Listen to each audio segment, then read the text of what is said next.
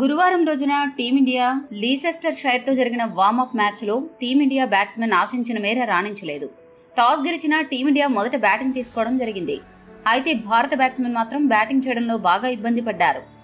అయితే ఈ మ్యాచ్లో ఒక ఆసక్తికర సంఘటన చోటు చేసుకుంది. విరాట్ కోహ్లీ దెబ్బకు శ్రేయాస్ అయ్యర్ కొంప మునిగింది. ఆ వివరాలు ఇప్పుడు చూద్దాం. ఐపీఎల్ అలానే దక్షిణాఫ్రికా టీ ట్వంటీ సిరీస్లో ఘోరంగా విఫలమైన శ్రేయస్ అయ్యర్ ఇంగ్లాండ్ టెస్ట్ సిరీస్లో అయినా సత్తా చాటాలని పట్టుదలతో ఉన్నాడు.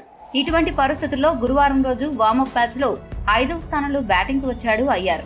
అయితే ఈ మ్యాచ్లో అందరికీ అవకాశాలు రావాలనే ఉద్దేశంతో టీమిండియాకు చెందిన పంత్ బుమ్రా ప్రసిద్ధ కృష్ణ పుజారా ప్రత్యర్థి జట్టైన లీసెస్టర్ షైర్ జట్టు తరపున ఆడుతున్నారు.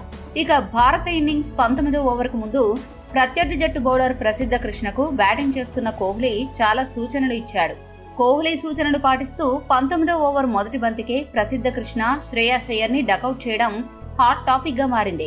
కోహ్లీ సలహాలను పాటిస్తూ ప్రసిద్ధ కృష్ణ హాఫ్ స్టంప్ అవతల బంతిని విసిరాడు. అయితే శ్రేయాస్ అయ్యర్ ఎప్పట్లాగే దాన్ని ఆడడంలో విఫలమయ్యి పంత్కు క్యాచ్ ఇచ్చి డకౌట్గా వెనుదిరిగాడు.